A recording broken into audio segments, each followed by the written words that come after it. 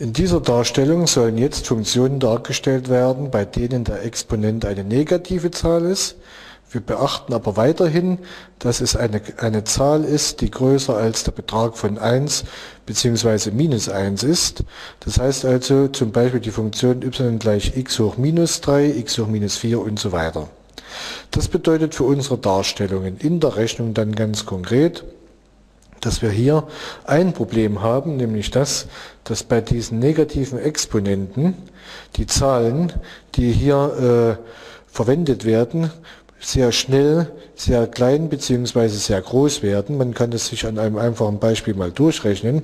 Beispielsweise der Exponent ist gleich minus 3, dann würde das bedeuten, die Funktion lautet y gleich x hoch minus 3 wie wir bei den Potenzgesetzen gelernt haben, lässt sich dafür auch schreiben 1 durch x hoch 3.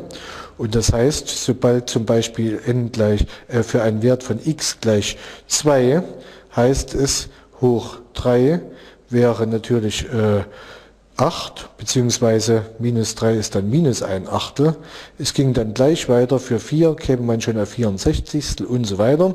Das heißt also, wir haben ein sehr schnelles Fallen der Funktionswerte beziehungsweise ein sehr schnelles Steigen der Funktionswerte in den Bereichen von 0 bis in dem Fall um 0,1 beziehungsweise minus 0,1.